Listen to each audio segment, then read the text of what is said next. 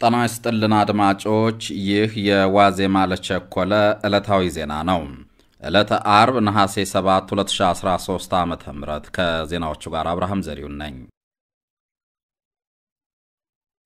ፈረንሳይ የኢትዮጵያን ባህር ኃይል መልሶ ለማደራጀት የገባችውን ወታደራዊ ስምምነት እንደሰረዘች የፈረንሳዩ ዜና ወኪል የፈረንሳይ ባለሥልጣናትን በምንጭነት ጠቅሶ ዘግቧል። ፈረንሳይ ወታደራዊ ትብብሯን ባለፈው ወር ያቋረጠችው በሰሜን ኢትዮጵያ ካለው ጦርነት ጋር በተያያዘ እንደሆነ ዘገባው ገልጿል። ፈረንሳይ ያቋረጠችው የትብብር ስምምነት የኢትዮጵያ ባህር ኃይልን ለማደራጀትና ለማዘመን የ100 ሚሊዮን ዶላር ብድር ለመስጠት ከሁለት ዓመት ከመንፈቅ በፊት በፕሬዝዳንት ማክሮንና በጠቅላይ ሚኒስትር አብይ መካከል የተደረሰውን ስምምነት ነው። በአፍሪካ ቀንድ የአሜሪካ ልዩ መልእክተኛ ጄፍሪ ፊልትማን በድጋሚ ወደ ኢትዮጵያ ሊሄዱ እንደሆነ የአሜሪካ ውጭ ጉዳይ ሚኒስቴር ባሰራጨው መረጃ አስታውቋል።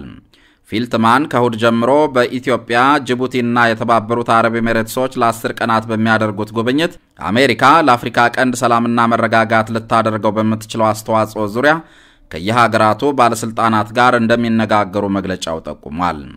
ፊልትማን በተለይ ለሰሜን ኢትዮጵያ ጦርነት መፍትሄ ለማፈላለግ በድጋሚ ወደ ኢትዮጵያ እንዲሄዱ ያዘዟቸው ፕሬዝዳንት ጆ ባይደን እንደሆኑ የፕሬዝዳንቱ ብሔራዊ ደህንነት አማካሪ ጄክ ሱሊቫን በትዊተር ገጻቸው ገልጠዋል። የህወሓት ተዋጊዎች የተቆጣጠሯቸውን የአማራና አፋር ክልል ቦታዎች እንደማይለቁ የህወሓት ቃል አቀባይ ጌታቸው ረዳም ዛሬ ከቢቢሲ ሃርድቶክ ጋር ባደረጉት ቃለ ምልልስ ተናግረዋል። የህወሓት ኃይሎች ለተኩስ አቁም ዝግጁ የሚሆኑት ቢያንስ መንግሥት ለትግራይ ክልል ያቋረጣቸውን መሠረተ ልማቶች እንደገና ሲጀምር እንደሆነ ጌታቸው ጠቁመዋል። ትግራይን መገንጠል ቀዳሚ የህወሓት አጀንዳ እንዳልሆነ የገለጡት ጌታቸው የትግራይን ህዝብ የራሱን ዕድል በራስ የመወሰን መብቱ ግን እንዲተገበር እናደርጋለን ብለዋል። ከሳምንት በፊት በአፋር ክልል በበርካታ ተፈናቃዮች ላይ የህወሓት ተዋጊዎች ስለፈጸሙት ግድያ ጌታቸው ተጠይቀው ክስተቱ በገለልተኛ አካል እንዲጣራ ጠይቀዋል። ህወሓት ከአማጺው የኦሮሞ ነፃ አውጪ ሰራዊት ጋር ወታደራዊ ትብብር መመስረቱንም ጌታቸው በቃለ ምልልሳቸው አረጋግጠዋል።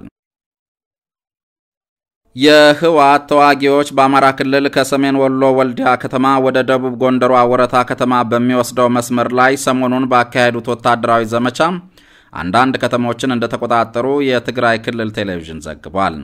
የህወሓት ተዋጊዎች ከአማራ ክልል ታጣቂዎች አስለቅቀናል ያሉት የታች ጋይንት ወረዳ ዋና ከተማ የሆነችው ንፋስ መውጫን፣ የሰሜን ወሎዋን ደብረ ዘቢጥንና ጨጨሆ የተባሉ ሌሎች ከተሞችን ነው። ይህ ዘገባ እስከተጠናቀረበት ሰዓት ድረስ የተጠቀሱት ከተሞች በህወሓት ተዋጊዎች ስለመያዛቸው የአማራ ክልል መንግሥት ማረጋገጫ የሚሆን ማስተባበያ አልሰጠም።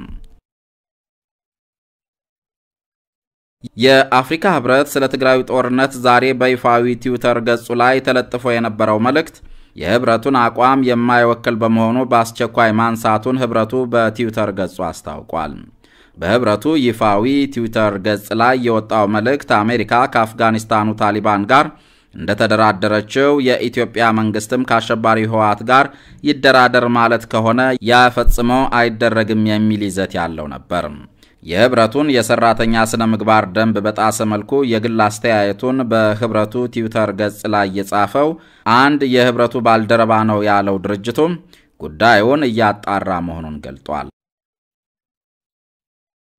ባለፉት ጥቂት ሳምንታት በትግራይ ክልል ከሚገኙት መቀሌ፣ አዲግራት፣ አክሱምና ራያ ዩኒቨርሲቲዎች ከ10100 በላይ ተማሪዎችን ወደ ቀያቸው መመለሱን የሳይንስና ከፍተኛ ትምህርት ሚኒስቴር ዛሬ በድረገጹ ባሰራጨው መግለጫ አስታውቋል። ከአክሱምና አዲግራት ዩኒቨርሲቲዎች ዘንድሮ ለመመረቅ አንዳንድ ትምህርት የቀራቸው ተማሪዎች ወደፊት ትምህርቶቹን የሚያጠናቅቁበትን መርሃ ግብር በሂደት አሳውቃለሁ ብሏል ሚኒስቴሩም። የሁሉም ተቋማት ተማሪዎች የክረምት ረፍት በጸጥታ ችግር ሳቢያ ለአንድ ወር በመዘግየቱ የረፍት ጊዜውን እንደሚያራዝም ሚኒስቴሩ አክሎ ገልጧል። ከአዲስ አበባ ወደ ባህር ዳር የሚወስደው ዋናው የአስፓልት መንገድ አባይ በረሃ ላይ የመሬት መንሸራተት በመከሰቱ የየብስ መጓጓዣ እንደተቋረጠ የኢትዮጵያ መንገዶች ባለሥልጣን በማኅበራዊ ትስስር ገጹ አስታውቋል። ትናንት ሌሊት የድንጋይ ናዳ መንገዱ ላይ የተከሰተው ልዩ ስሙ ፍልቅልቅ የተባለ ቦታ ላይ መሆኑን የገለጠው ባለስልጣኑ መንገዱን በአስቸኳይ የሚጠግን ግብረ ኃይል ወደ ስፍራው ተንቀሳቅሷል ብለዋል። ዓለም አቀፉ ድንበር የለሽ የሐኪሞች ቡድን ከወራት በፊት በትግራይ ክልል በሦስት ሠራተኞቹ ላይ የተፈጸመው ግድያ እንዲጣራለት በትዊተር ገጹ ባሰፈረው ጥሪ በድጋሚ ጠይቋል። እስካሁን የሦስት ባልደረቦቹን ገዳዮች ማንነት እንደማያውቅ የገለጠው ቡድኑ በወቅቱ በትግራይ ክልል የነበሩ ሁሉም የግጭቱ አካላት ግድያውን ለማጣራት እንዲተባበሩ ጥሪ አድርጓል። ሰላም ሚኒስቴር ግድያውንና የገዳዮቹን ማንነት ለማጣራት እያደረገው ያለውን ምርመራ እንደሚያደንቅ ቡድኑ አክሎ ገልጧል። አድማጮች፣ የዋዜማ ለቸኮለ ዕለታዊ ዜናዎች እስካሁኖቹ ነበሩ። ዋዜማን ዜናዎች በማኅበራዊ ድረገጽ በፌስቡክ እና በትዊተር ታገኙታላቸው። ዜናዎቹ ጋር አብርሃም ዘሪሁን ነበር።